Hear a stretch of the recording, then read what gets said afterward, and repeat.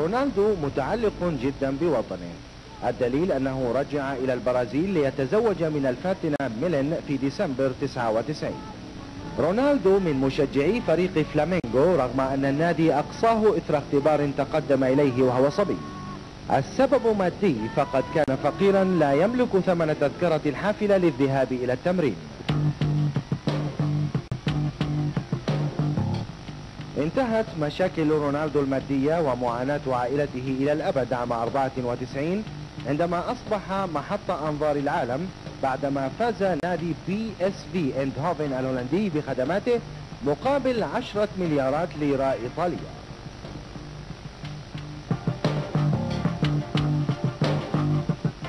كل الذين اعتقدوا أن التحاقه بكرة القدم الأوروبية سوف يؤثر سلبا على معدل أهدافه في البرازيل أجبروا على مراجعة مواقفهم أمام النتائج التي حصل عليها. 55 هدفا خلال 56 مباراة هي الحصيلة وتتويج المسيرة بالحصول على كأس هولندا.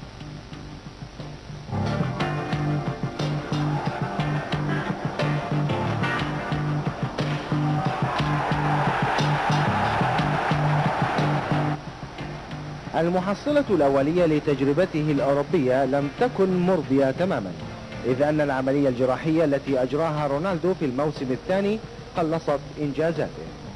كان يخشى على رونالدو أن تدفع لياقته البدنية ضريبة النهاية التي تطالب بها كرة القدم أكبر النجوم قبل الأوان. وأمام المبالغ الكبيرة بات حجم الاستفادة من اللاعب محل شك من النوادي الكبيرة خاصة من الإنتر. فكرة استقدام رونالدو ولدت منذ ثلاثة أعوام عندما تنازلنا عن جونك لهولندا. حصل الإنتر على الأولوية في التعاقد مع رونالدو وفي نفس الفترة قدم برشلونة عرضا لانتدابه. وفي تلك الأثناء تعرض رونالدو للإصابة وخضع لعملية جراحية. تخشينا ألا يعود إلى نفس المستوى بعد الإصابة خاصة وأن سعره كان مرتفعا. لذلك تنازلنا عن حقنا في الأولوية. Si era preferito lasciar perdere il diritto di prelazione.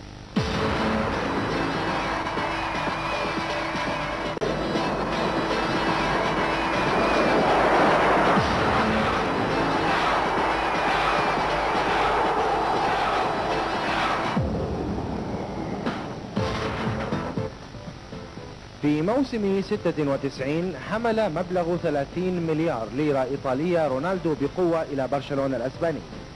وحتى اليوم لم تفهم حقيقة هذه الصفقة.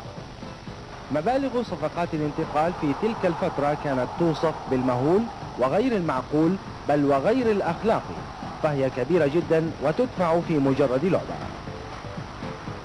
رونالدو كان يعمل من جهته جاهدا ليبرهن أن استثمار ذلك الكم الهائل من الأموال كان في محله.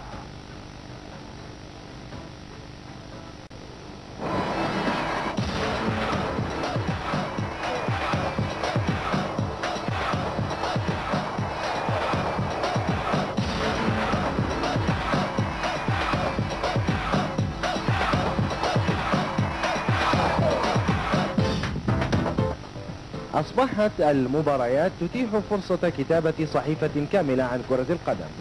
نتذكر هنا المباراة التاريخية لفريق برشلونة حين تدارك تأخره بثلاثة أهداف أمام جمهوره في دور الأربعة لمسابقة كأس الملك في أسبانيا.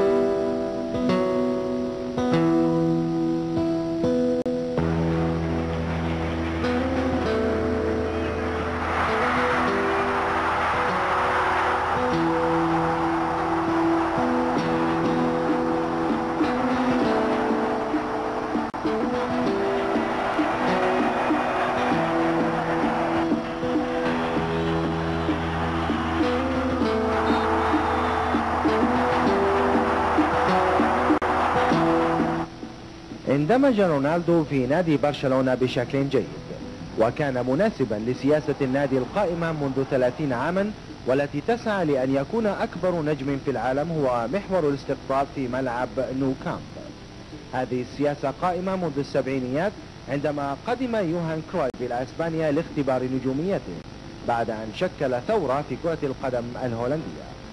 وفي الثمانينيات جاء مارادونا ليحمل مسؤولية إمتاع الجمهور. جمهور متشدد للغاية. وأتى الدور على رونالدو ورغم اختلاف الأساليب فالنتائج لم تكن أقل من أسلافه. إنه أقوى لاعب على الإطلاق ولكنه ليس كافيا وحده ليفوز بالدوري. هذه الجملة لفابيو كابيلو مدرب ريال مدريد في تلك الفترة. وهي تلخص نوعا ما تجربة رونالدو في أسبانيا. في موسم 96 97 قدم رونالدو أفضل ما لديه وتصدر قائمة الهدافين ب 34 هدفا في 37 مباراة. كان رونالدو ممتازا بالفعل في أدائه رغم أن ذلك لم يمنح برشلونة اللقب. على أي حال كان التعويض بالفوز بكأس السوبر وكأس أسبانيا وكأس الكؤوس الأوروبية. من السهل التعرف على أهداف رونالدو فهي تبدو وكأنها تحمل علامة صانعها فروني يطير فوق الميدان فلا يلحقه أحد وهو يتحكم بالكرة جيدا ويسدد في وقت غير منتظم. فلا عائق يمنعه من التقدم ولا مراقبة تحد من خطورته. برشلونة فريق ممتاز أصلا إذ يضم عناصر مثل بلان وجيوفاني وفيجو وستوشيكوف ثم التحق بهم رونالدو وبات مهما في كل المناسبات. لقد أضاف إلى تلك التشكيلة القوية عنصر متعة المشاهدة الذي لم يحققه سواه. ويوم بعد يوم تكونت أسس فوزه بالكرة الذهبية عام 97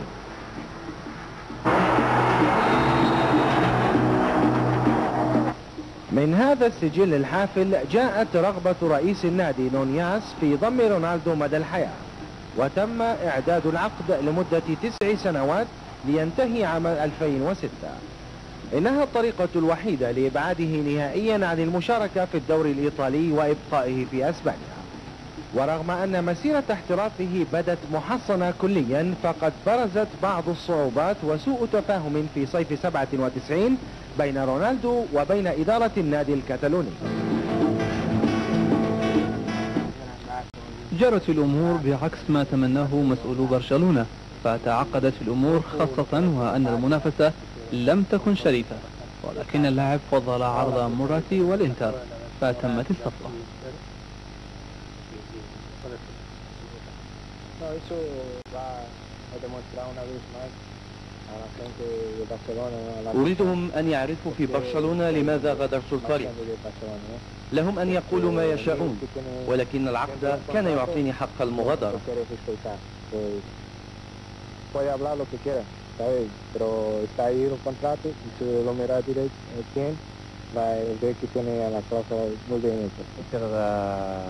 كنا نريد بناء خط هجوم قوي. وكانت الأسماء التي تتردد أكثر في ذلك الوقت إنزاغي بيرهوف وباتيستوتا. ولكن مراتي قال ذات مرة هناك أمر لو أحققه فسيكون في صالح الجميع. ثم شرح لنا اهتمامه برونالدو وبدأ الأمر صعبا ولكنه لم يكن مستحيلا.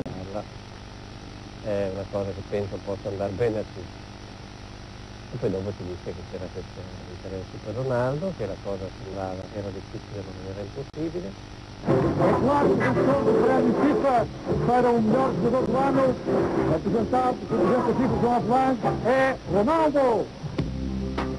عندما طرح مبلغ 48 مليار ليرة إيطالية للتفريط في رونالدو انقض موراتي رئيس الإنتر على الفرصة وتمكن من إقصاء منافسه كرانيوتي رئيس لاتسيو. وبصعوبة فرط برشلونة في لاعب لا يعوض.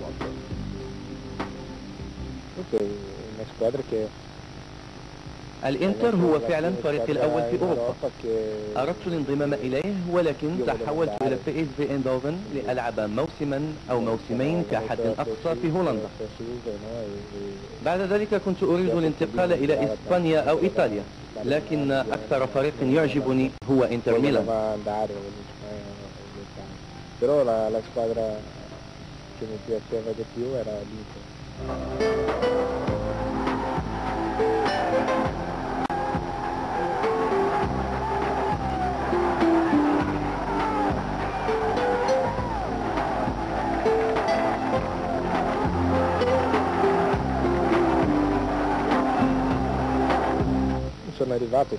e. وفعلا أتيت إلى الإنتر وأشعر بالارتياح هنا لقد استقبلوني بكل حب ورحبوا بي بحفاوة حتى شعرت أنني مهم جدا.